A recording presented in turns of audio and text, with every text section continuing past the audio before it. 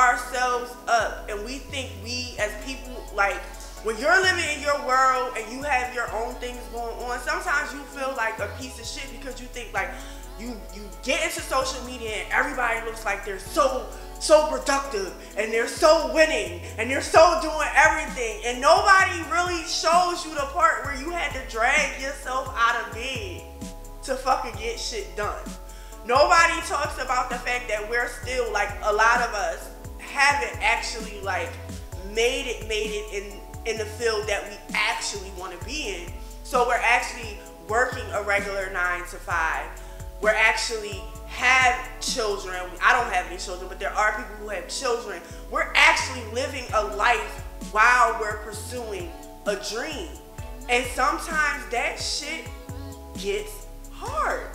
It could get to you. It could get to you to the point where sometimes you honestly need to take a break. But I feel like some people decide that they're not gonna take a break because they let social media, they let peers get in their head and think and, and make them believe that they're doing less, that they're not really about their dream, if they're not getting no sleep, if they're doing right, like the Richie Blues eyes went up. There really are people out here that will fucking talk shit about you because they feel like you're supposed to be only getting four hours of sleep. Like, nah, I've been there. I do sometimes only get four hours of sleep, but I don't recommend it. That's not mentally taking care of yourself. How can you really be creative and really give your craft anything that you're trying to do if you're not showing up as a whole person? And you cannot possibly show up as a whole person if you're only getting four hours and two hours and three hours of sleep. You're pouring from basically an empty cup.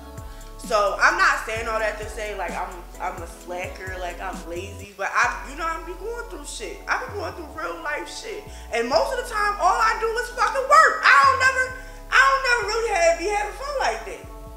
But um, so I said all that to say that no, I have not started editing that fucking footage.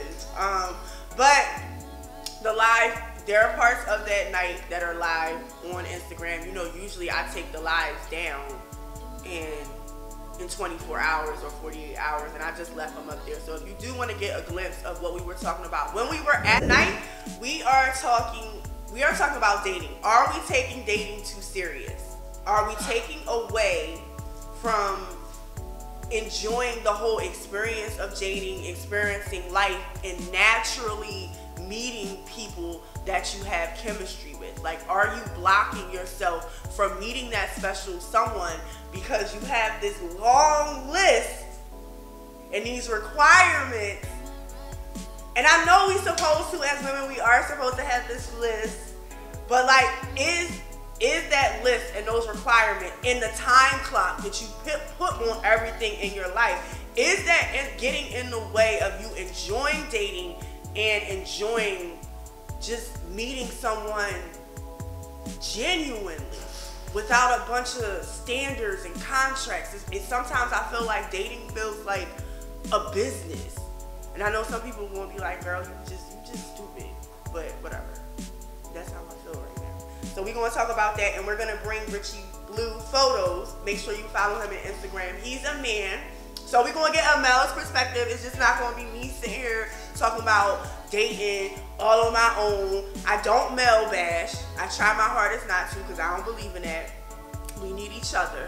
So um, it's good that he's gonna come on and talk to us about that. And also, we will shout out to the Dating is Dead podcast.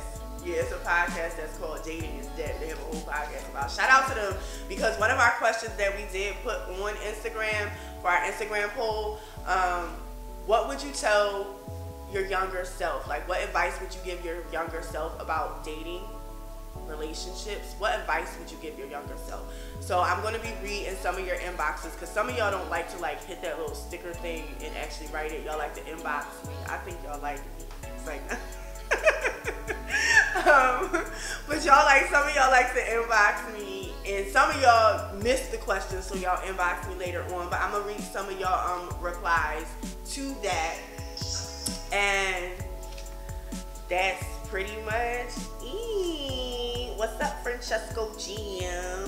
So that's pretty much it. I'll be reading some of those comments, and I feel like now Richie Bluties. I got. I'm not used to being on the show by myself, so I feel like Richie Blue needs to uh, join me. He's going to pause. You gonna pause the camera, right? We're not gonna pause Instagram. So what's everybody sipping on tonight? Make sure sip and discuss. We want you to drink responsibly. Let's put that out there. Disclaimer: We're not asking you to get ripped up from the floor up. But we do like to drink and sip our cocktails while we have these discussions because I feel like it makes people a little bit more comfortable. Leave comments in there. What are y'all sipping on tonight? If you have any dating advice, what you tell your younger self? What you trying to tell yourself now? Because some of us be hard headed and we be knowing and it's like we be hard headed. You know you ain't supposed to be fucking with that nigga. Why you fucking with that nigga? that shit fun, B. right. right, like Halina